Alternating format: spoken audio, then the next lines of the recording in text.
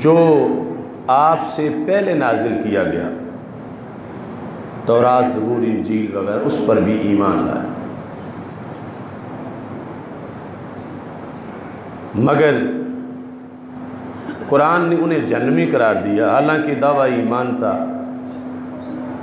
مسئلہ حکومت پر، یریدون ان یتحاکموا الی الطاغوت۔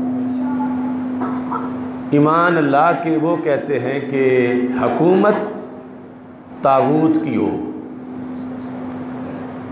کلمہ پیغمبر کا ہو، نماز روزہ ان کے حکم پر ہو، مگر فیصلے تاغوت کرے، راج تاغوت کا ہو، فیصلے اس کے مانے جائیں وَيُرِيدُ الشَّيْطَانُ أَن يُدِلَّهُمْ دَلَالًا بَعِيدًا۔ اس سے پہلے اللہ نے فرمایا قد امروا ان یکفروا بھی حالانکہ انہیں کہا گیا کہ حکومت تاغوت کی نہیں مانی جائے گی، بلکہ اس کا انکار کیا جائے گا۔ تو یہ اس تاغوت کی حکومت مانتے ہیں۔ فَيُرِيدُ الشَّيْطَانُ أَن يُدِلَّهُمْ دَلَالًا بَعِيدًا۔ تو شیطان یہ ارادہ کرتا ہے کہ ایسے لوگوں کو جداوہ ایمان تو کرتے ہیں مگر حکومت تاغوت کی مانتے ہیں۔ انہیں شیطان دور کی گمراہی میں گمراہ کر رہا ہے۔ یہ آیت کریمہ مدینہ منورہ میں نازل ہوئی اور اس کا شان نزول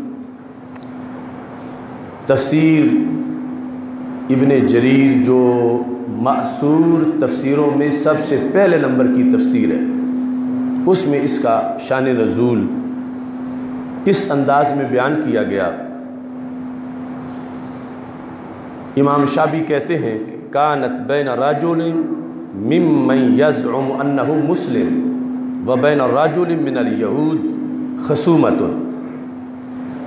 کہ ایک بندہ جو دعوے دار تھا ایمان کا اس کے درمیان اور ایک یہودی کے درمیان جھگڑا ہوا۔ فقال الیہودی احاکم کا الى اہل دینی کا او النبی صلی اللہ علیہ وسلم.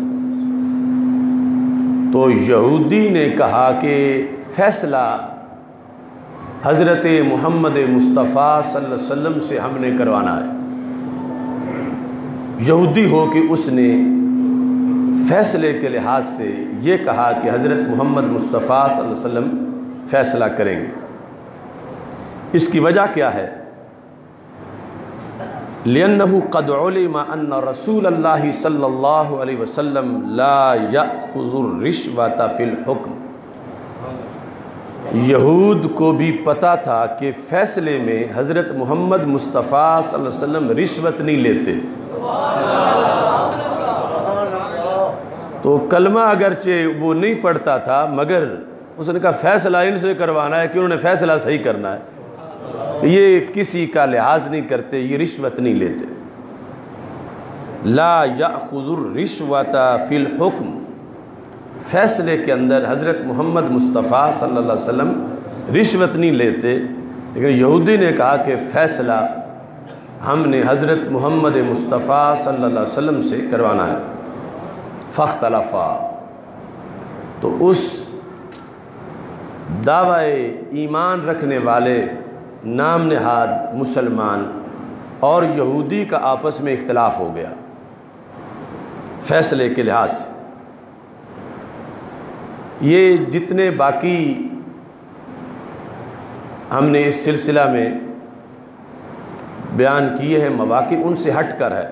وہ حضرت زبیر رضی اللہ تعالیٰ عنہ سے جس کا جھگڑا ہوا کھیت کو پانی لگانے کے مسئلے میں، یا حضرت عمر نے اپنی تلوار سے جن کا فیصلہ کیا، وہ اس سے ہٹ کر سارے معاملات۔ جب یہاں اختلاف ہوا، تو وہ جو دعوی ایمان کرتا تھا،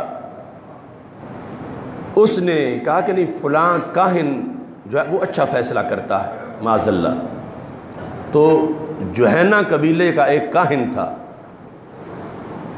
اس مسلمان نے اس کا نام پیش کیا۔ یہودی نے رسول اللہ صلی اللہ علیہ وسلم کا نام پیش کیا۔ اختلاف کے بعد اتفاق اس پر ہو گیا۔ یاتیا کاہنن فی جوہینا۔ تک کہ جوہینا کا جو کاہن ہے، مشہور جادوگر، اس کے پاس فیصلے کے لیے چلتے ہیں۔ کیونکہ ظاہر ہے کہ جب خود دعوی ایمان کرنے والا دوسری طرف جا رہا تھا تو بالآخر یہودی نے کہا، چلو ٹھیک ہے، اس جوہینا کے کاہن کے پاس چلتے ہیں۔ تو جب یہ اس کی طرف گئے تو اللہ نے آیت کا نزول کیا۔ علم ترا الذین یزعمون انہم آمنوا بما انزل الیک۔ یعنی تفسیر کے اندر ابن جریر نے اس کو یہ جو لفظ ہیں دو طرف تقسیم کیا کہ جو گئے ہیں ان میں سے ایک یہ دعویٰ کرتا ہے کہ جو حضرت محمد مصطفیٰ صلی اللہ علیہ وسلم پہ نازل ہوا میرا اس پر ایمان ہے۔ اور دوسرا جو یہودی ہے، وما انزل من قبلک، وہ کہتا ہے جو پہلی کتابیں ہیں، میرا اس پر ایمان۔ تو یہ چلے گئے جوہینا کے کاہن کی طرف، یریدون یتحاکموا الى الطاغوت۔ تو انہوں نے ارادہ کر لیا کہ حکومت تاغوت کرے گا۔ عربی زبان میں فیصلہ کرنے کو حکومت کہتے ہیں۔ حکومت تاغوت کرے گا۔ تو رب ذوالجلال نے فرمایا کہ جو اس طرح کے ایمان والے ہوں، ہم ان کو ایمان کی سند نہیں دیتے۔ ہمارے نزدیک کلمہ پڑھنے کے ساتھ ساتھ حکومت رسول اللہ صلی اللہ علیہ وسلم کی تسلیم کرنی پڑے گی۔ لوگ یعنی سمجھتے ہیں کہ یہ حکم اور حکومت والی بات معمولی ہے کہ اگر ہم نے امریکہ سے فیصلہ کروایا، فیصلہ ہی کروایا نا، ہم نے کوئی اس کا کلمہ پڑھا۔ ہے ہم نے تو صرف ان کی بات ہی مانی ہے نا۔ ہم نے صرف یہی کہا ہے کہ امریکہ کے کہنے پر ہم یہ کام کریں گے، اس کے کہنے پر فیصلہ ہوگا، وہ جو کہے گا۔ تو تاغوت آپ نے سمجھ لیا کہ یہ نہیں کہ تاغوت جو ہے وہ کسی پہاڑ جتنا ہوتا ہے اور دس اس کے سینگ ہوتے ہیں جوہینا کے قبیلے کا ایک کاہن۔ سرکار کو چھوڑ کر جس سے فیصلہ کروانے کے لیے گئے، اللہ نے کہا یہ تاغوت ہے۔ اور تاغوت کا انکار کرنا ہے اور حضرت محمد مصطفیٰ صلی اللہ علیہ وسلم کا اقرار کرنا ہے۔ یعنی ان سے فیصلہ کروانا ہے، تاغوت سے فیصلہ نہیں کروانا۔ تو جن لوگوں نے اس وقت تاغوت کی طرف فیصلہ کے لیے وہ گئے، اگرچہ قرآن پر ایمان کا وہ شخص دعوے دار تھا اور انصار قبیلے سے اس کا شمار تھا، لیکن رب ذوالجلال نے کہا کہ یہ مومن نہیں ہے۔ اگرچہ نماز، روزہ، حج، زکوٰۃ یہ سب کچھ کرنے والا ہے، چونکہ جب وقت فیصلے کا آیا ہے تو یہ سرکار کو چھوڑ کے تاغوت کے پاس گیا ہے، تو جو تاغوت سے فیصلے کروائے وہ مومن نہیں ہوتا۔ مومن وہ ہے جو کلمہ بھی اپنے نبی کا پڑھتا ہے اور نظام بھی اپنے نبی کا مانتا ہے۔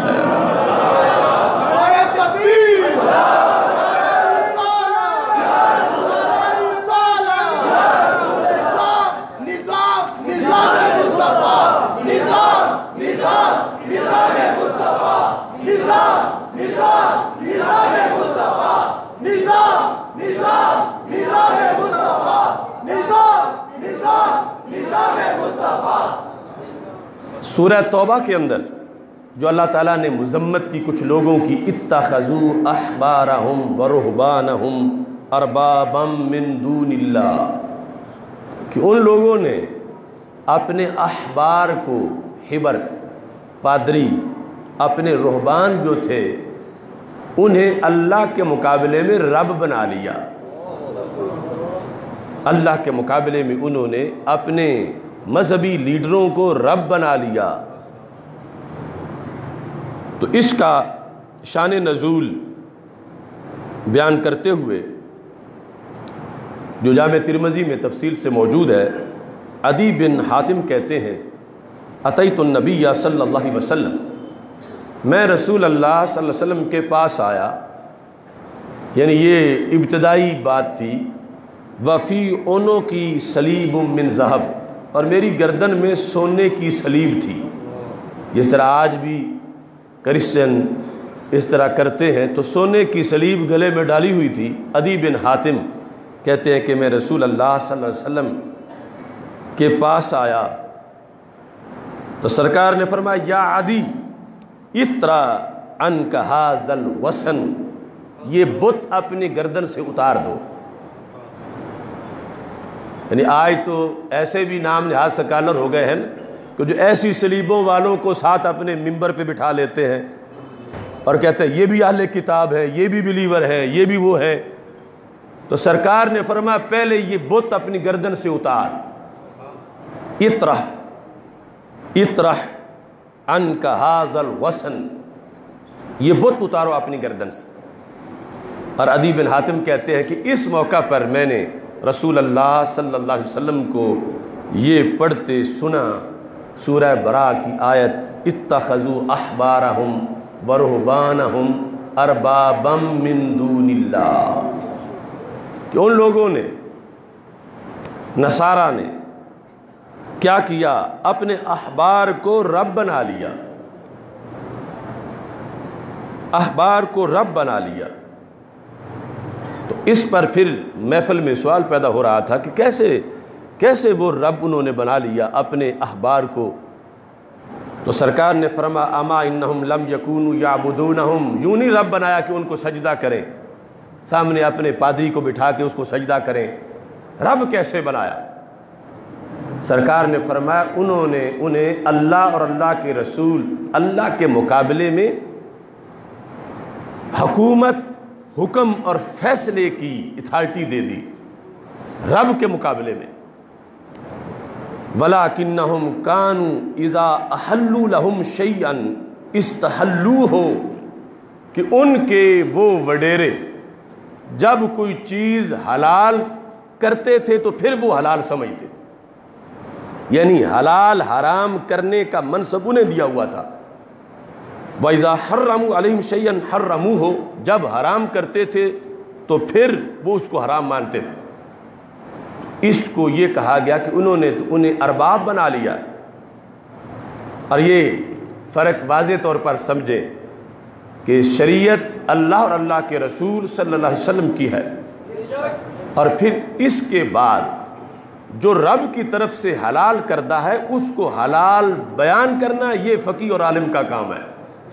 جو رب کی طرف سے حرام کیا گیا، اس کو حرام بیان کرنا یہ فقی امام اور عالم کا کام ہے۔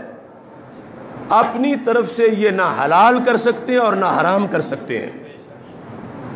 اور اللہ کے قانون کے ضابطے میں جس وقت یہ چلیں تو پھر ان کی طرف بھی حکم کی نسبت ہوتی ہے کہ یہ حکومت والے ہیں، یہ فیصلے والے ہیں۔ جب اس شرط کو پورا کریں کہ رب کے سامنے جھکے ہوئے ہیں، اس کے فرمان کے باغی نہیں ہیں۔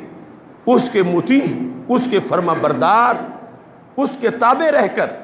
تو پھر ان کا حکم اور ان کی حکومت اس کے لحاظ سے۔ پھر قرآن مجید، برہان رشید نے بھی واضح طور پر یہ اول الامر کا لفظ بول کر ان کو اتھارٹی دے دی کہ جب قرآن و سنت سے دیکھ کے بیان کریں گے، تو یہ تمہارے اول الامر ہے ان کی اطاعت کرو۔ اللہ عطی اللہ و عطی الرسول و اول الامر منکم۔ اللہ کی اطاعت اور اللہ کے رسول صلی اللہ علیہ وسلم کی اطاعت اور پھر اول الامر کی اطاعت۔ یہ قرآن نے کہہ دی۔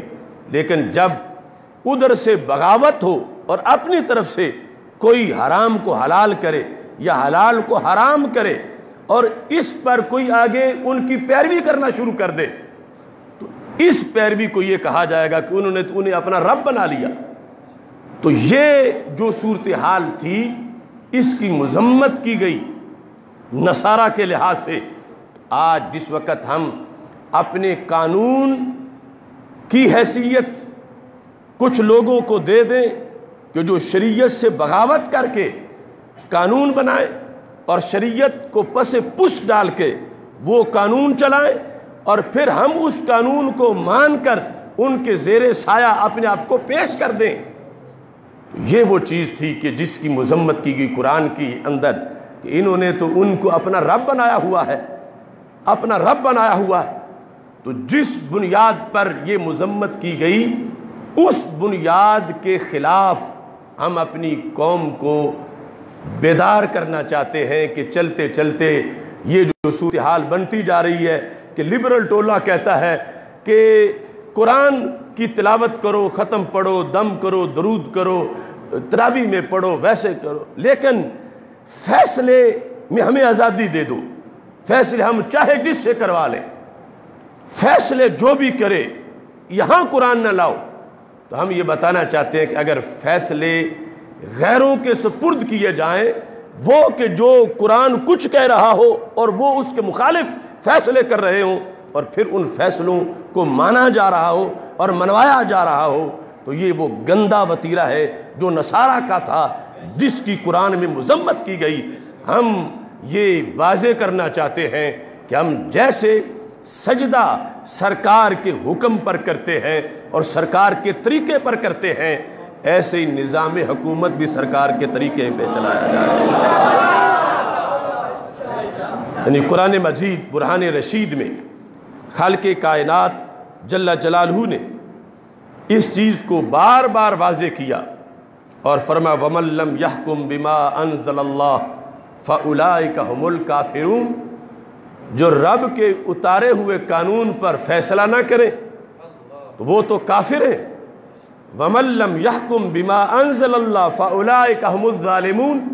جو اللہ کے اتارے ہوئے قانون پر فیصلے نہ کرے، اللہ فرماتا، وہ ظالم ہے وَمَن لَمْ يَحْكُمْ بِمَا أَنزَلَ اللَّهِ فَأُولَئِكَ هُمُ الْفَاسِقُونَ، جو رب کے اتارے ہوئے قانون پر فیصلے نہ کریں، وہ تو فاسق ہیں۔ اب کافرون، ظالمون، فاسقون، یہ کوئی مفتی کا فتویٰ تو نہیں ہے۔ یہ تو اللہ کا نہ بدلنے والا قرآن ہے۔ اور بات حکم کی ہو رہی ہے، نظام اور سلطنت چلانے کی ہو رہی ہے۔ اور اس سلسلہ میں یعنی قرآن یہ واضح کر رہا ہے۔ اور یہ پھر چونکہ فیصلوں کی کیٹاگریز ہیں، ایک تفسیر کے مطابق یعنی کچھ فیصلے ایسے ہیں کہ جب بما انزل اللہ چھوڑ کے وہ کرو گے تو وہ کفر تک پہنچا دیں گے۔ کچھ فیصلے وہ ظلم قرار پائیں گے، کچھ فیصلے وہ فسق قرار پائیں گے۔ اور عدل کیا ہوگا کہ جب وہ فیصلہ ہوگا، جو فیصلہ رب نے قرآن میں نازل فرمایا۔ اس بنیاد پر سید عالم نور مجسم شفیع معظم صلی اللہ علیہ وسلم نے الفاظ کے اندر بھی اتنی احتیاط برتی۔ الفاظ میں بھی۔ حضرت مقدام بن شرح اپنے باپ سے اور وہ اپنے دادا شرح سے اور شرح اپنے ابا ہانی سے یہ روایت کرتے ہیں کہ ہانی جب رسول اللہ صلی اللہ علیہ وسلم کی خدمت میں حاضر ہوئے، اپنی قوم کو لے کر تو جب سرکار دو عالم صلی اللہ علیہ وسلم کے پاس آ کے بیٹھے یعنی کلمہ پڑھنے کے لیے آئے، تو ان کی قوم ان کا جب نام لیتی تھی، تو یکنونہو بأبی الحکم، جس طرح بیٹھتے ہوئے یا بولتے چلتے نام لیا جاتا ہے، تو اس کو ابو الحکم کہہ کے بلاتے تھے۔ ہانی جنہوں نے کلمہ پڑھا پھر، تو ہانی کو ابو الحکم جب کہا گیا سرکار کے سامنے فداہ رسول اللہ صلی اللہ علیہ وسلم، تو سرکار نے بلا لیا ان کو۔ فرما، ان اللہ الحکم، حکم تو اللہ ہے۔ حکم حکم کا مطلب ہے فیصلہ کرنے والا۔ حکم تو اللہ ہے۔ اور ابو الحکم کا تو بڑا غلط مطلب بنتا ہے۔ یہ تجھے کیوں ابو الحکم کہتے ہیں؟ ان اللہ الحکم و الیہ الحکم۔ اللہ حکم ہے اور اللہ کی طرف حکم ہے یعنی جس نے حکم لینا ہے وہ اللہ کی طرف رجوع کرے۔ تو تمہیں فلیما تکنا اب الحکم تجھے کیوں تمہاری کنیت ابو الحکم بیان کی جا رہی ہے؟ فقالا تو حضرت ہانی نے جواب دیا۔ کہنے لگے، ان قومی ازخ تلفوفی شے ان اتونی. یہ میرے ساتھ جو لوگ آئے ہوئے ہیں، میں ان کا سربراہ ہوں، ان کا جب آپس میں جھگڑا ہو جاتا ہے نا، یہ میرے پاس آتے ہیں، تو میں ان کا فیصلہ کرتا ہوں۔ فحکم تو بہن ہوں مجھے اتنی صلاحیت ہے فیصلہ کرنے کی کہ آپس میں یہ لڑ رہے ہوتے ہیں، مخالف ہوتے ہیں، میں فیصلہ کرتا ہوں۔ فحکم تو بہن ہوں فردیا کلل فریقین دونوں فریق خوش ہو جاتے ہیں۔ تو یہ اتنا میری صلاحیت کو مانتے ہیں کہ مجھے پھر یہ ابو الحکم کہتے ہیں کہ اس پر فیصلے ختم ہیں۔ یعنی عربی زبان میں جس کو کسی چیز پر زیادہ دسترس ہو اور زیادہ کنٹرول ہو، اس کے لحاظ سے بھی لفظ ابو بول کر اس کا اطلاق کر دیا جاتا ہے۔ یعنی گویا کہ یہ تو فیصلوں کا باپ ہے، فیصلے کرنے والوں کا اور اس کو اتنی صلاحیت حاصل ہے۔ چونکہ دونوں فریقی راضی ہو جاتے ہیں اور یہ بڑا مشکل ہے کہ فیصلے میں دونوں راضی ہوں یعنی ایک کے حق میں ہوتا ہے، ایک کے خلاف ہوتا ہے۔ تو میں فیصلہ کرتا ہوں تو دونوں فریق راضی ہو جاتے ہیں۔ تو یہ خوش ہو کہ مجھے ابو الحکم کہتے ہیں، اس طرح میرا نام ہی، میری کنیت ابو الحکم پڑ گئی ہے۔ تو رسول اللہ صلی اللہ علیہ وسلم نے فرما، ما احسن حاضہ یہ ٹھیک نہیں ہے۔ یہ تمہیں ابو الحکم کہے، یہ بات اچھی نہیں ہے۔ فما لکا من الولد تیری کوئی اولاد نہیں ہے؟ قال علی شرح و مسلم و عبداللہ میرے بیٹے ہیں، ایک کا نام شرح ہے، ایک کا نام مسلم ہے، ایک کا نام عبداللہ ہے۔ قال فمن اکبرہم سرکار نے فرمایا، ان میں سے بڑا کون ہے؟ تو کہتے ہیں میں نے کہا شرح تو سرکار نے فرمایا، انت ابو شرح آج کے بعد تم ابو الحکم نہیں، تم ابو شرح ہو۔ تو یہ سندوں میں پھر آتا ہے ان المقدام شرح ان ابی ہے ان جد ہی شرح ان ابی ہے ہانی تو وہ پھر ابو شرح مشہور ہو گئے، جن کو پہلے ابو الحکم کہا جا رہا تھا۔ اب ایک تو ہے حقیقتاً کسی کو حکم کی اتھارٹی دے دینا، اللہ اور رسول صلی اللہ علیہ وسلم کو چھوڑ کر یا ان کی نسبت والوں کو چھوڑ کر۔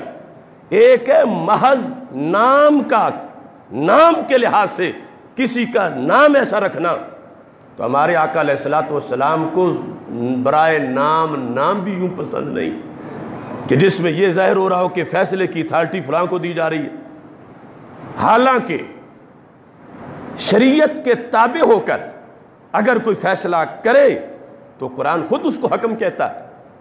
شریعت کے تابع ہو کر قرآن مجید میں میاں بیوی کا جھگڑا ہو جائے۔ تو اللہ فرماتا حکم من اہلی و حکم من اہلہا.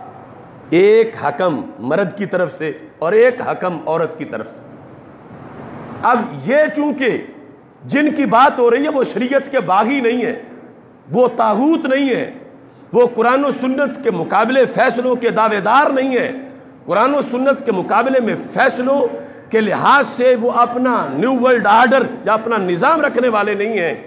تو یہ مجازن حکم ہے۔ کہ ہیں حکم مگر اللہ کے دیو حکم پر ہے، تو پھر ان کو بھی حکم کہا گیا۔ لیکن اگر ایسا نہیں ہے، تو پھر ان الحکم الا للہ۔ حکم صرف اللہ کا ہے۔ اور اس میں بھی پھر آگے بڑی باتیں ہیں۔ اسی کو لے کر اگر کوئی یہ روش بنا لے کہ پھر اللہ کے رسول کا بھی نہیں ہے، تو پھر قرآن کہتا ہے کہ رسول کا نہیں مانیں گے تو مومن ہی نہیں قرار پاؤ گے۔ یعنی یہ جو خوارج ہیں، ان کا پرانا نعرہ ان الحکم الا للہ۔ حکم صرف اللہ کا ہے۔ حکم فیصلہ اس کا ہے۔ اس بنیاد پر حضرت علی رضی اللہ تعالیٰ عنہ کے خلاف نکل آئے کہ تم نے حضرت امیر معاویہ رضی اللہ تعالیٰ عنہ سے سلو کے مسئلے میں حضرت عمر بن آس